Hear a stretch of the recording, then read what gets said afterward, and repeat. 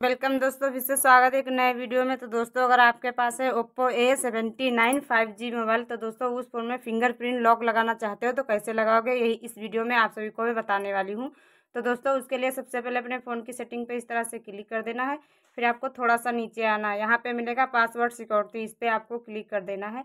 फिर उसके बाद में यहाँ पे मिलेगा फिंगरप्रिंट, इस पर आपको क्लिक कर देना है। जैसे ही क्लिक कर दो जो भी यहाँ पे स्क्रीन लॉक पैटर्न जो भी डाले हैं, वो यहाँ पे इस तरह से डाल देना है। फिर उसके बाद में यहाँ पे अपने बटन पे अपना फिंगर लगा लेना है। आपको जब तक लगाते रहना है, जब तक ये फुल ना हो जाए। तो दोस्तों, जैसे ही फुल हो जाएगा, फिर यहाँ पे डन का ऑप्शन आएगा, इस पर आपको क्लिक कर देना है। फिर उसके बाद में यहाँ पे टिक लगा देना है, आपको कैंसिल कर देना है। फिर अपना बैक आना है। फिर अपने पावर बटन को इस तरह से दबाना अब दोस्तों, अपना फिंगर लगाना है इस प्रकार से। जैसे ही लगाओगे, आपका फ़ोन अनलॉक हो जाएगा। तो दोस्तों, इस प्रकार से फिंगरप्रिंट लॉक लगा पाओगे।